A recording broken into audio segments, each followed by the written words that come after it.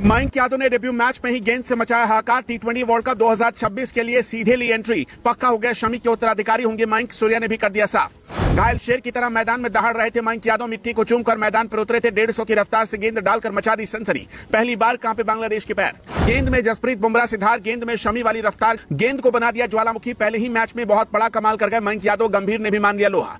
बाईस साल के मयंक यादव ने मैदान पर उतरते ही ऐसी तबाही बचाई कि अच्छे अच्छे बल्लेबाज थर थर काँप गए। बाईस साल का ये लड़का तूफ़ान बनाकर मैदान पर आया, पलक झपकते ही तबाही मचाए और ऐसी कोहराम मचाने वाली गेंदबाजी की कि अब सीधे तौर पर 2026 के टी विश्व कप के लिए अपना दावा ठोक दिया। लेकिन एक बात और आप जान लीजिए कि मयंक यादव के आने के बाद एक गेंदबाज पर खतरा भी बढ़ा है। कौन है वो गेंदबाज, उस पर चर्चा करते हैं, मगर अभी सबसे पहले बात करते हैं मयंक यादव की कि कैसे उन्होंने तूफ़ान खड़ा करने का काम किया और उनको क्यों दूसरा मोहम्मद शमी कहा जा रहा है? याद होगा कि आईपीएल के दौरान मयंक यादव ने तबाही मचानी शुरू कर दी थी, लेकिन चोट की वजह से वो बाहर हो गए थे। लेकिन क्या गजब की वापसी मयंक यादव ने कर दी? और अब टीम से वो हमेशा के लिए जुड़े रहने वाले गौतम गंभीर ने ही प्लान तैयार किया था और सूर्य कुमार यादव ने उस पर मोहर लगा दिया कि मयंक यादव को जल्द से जल्द टीम में लाना चाहिए। और हुआ भी वही। जैसे ही मयंक यादव अपनी गेंद के साथ मैदान पर उतरे, उन्होंने ग्वालियर के माधवराव सिंधिया स्टेडियम में अपनी गेंदों से ऐसा हाहाकार मचा दिया। पहले ओवर को मयंक यादव ने मैडन फेंका, जिसने हर किसी को प्रभावित करने का काम किया। उनकी रफ्तार क्या कमाल की थी। 140 और 150 के बीच लगातार गेंदबाजी कर रहे थे, जिसको देखकर बांग्लादेश के बल्लेबाजों के पैर थर काँप रहे थे। किसी को समझ में नहीं आ रहा था कि आखिर मयंक यादव की गेंदबाजी को कैसे खेला जाए।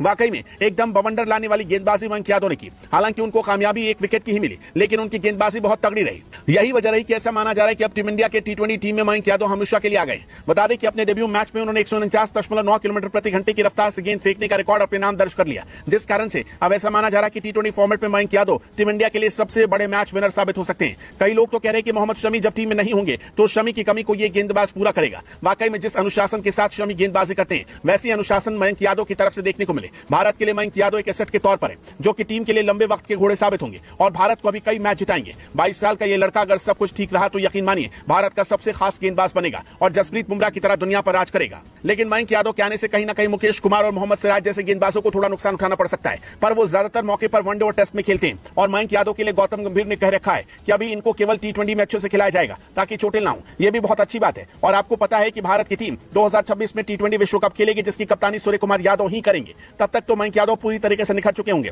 और ऐसा कोहराम मचाने वाले गेंदबाज बन चुके होंगे कि दुनिया का कोई भी बल्लेबाज उनको खेल नहीं पाएगा। और ये गेंदबाज सिर्फ़ और सिर्फ़ तबाही मचाएगा। देखना यही कि मयंक यादव कितनी लंबी पारी अपनी खींचते हैं, मगर हर कोई यही दुआ कर रहा है कि इस लड़के को चोट ना लगे। दोस्तों, मयंक यादव की गेंदबाजी पर आप क्या कहेंगे? कॉमेंट में बताएँ।